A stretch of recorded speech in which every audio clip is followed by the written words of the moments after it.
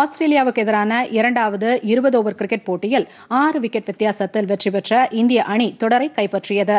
சிட்னியில் நடைபெற்ற இந்த போட்டியில் டாஸ் வென்ற இந்திய அணி பந்து வீச்சை தேர்வு செய்தது.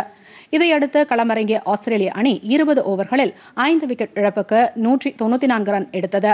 அதிகபட்சமாக அந்த அணியின் எம் எஸ் வேட் ஐம்பத்தெட்டு ரன் எடுத்தார். ஸ்மித் நாற்பத்தி ஆறு ரன்னும் ஹென்ரிக்ஸ் இருபத்தி ஆறு ரன்னும் எடுத்தனர். தமிழக வீரர் நடராஜ் இரண்டு விக்கெட்டுகளையும் சாகல் தாகூர் ஆகியோர் தலா ஒரு விக்கெட்டையும் கைப்பற்றினார்கள். இதையடுத்து நூற்றி தொண்ணூத்தைந்து ரன் என்ற இலக்குடன் பேட் செய்த இந்திய அணி பத்தொன்பது புள்ளி நான்கு ஓவர்களில் நான்கு விக்கெட்டுகளை மட்டுமே இழந்த நிலையில் இலக்கை எட்டியது.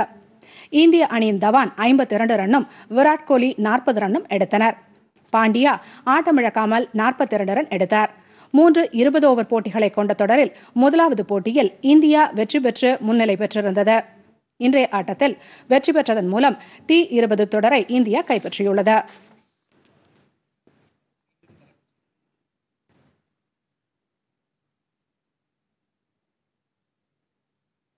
பொதிகை செய்திகளை யூடியூபில் தமிழ் நியூஸ் தூர்தர்ஷன் என்ற சேனலிலும் முகநூலில் டிடி பொதிகை நியூஸ் என்ற பக்கத்திலும் ட்விட்டரில் டிடி நியூஸ் சென்னை என்ற பக்கத்திலும் இன்ஸ்டாகிராமில் டிடி பொதிகை நியூஸ் என்ற பக்கத்திலும் காணலாம்.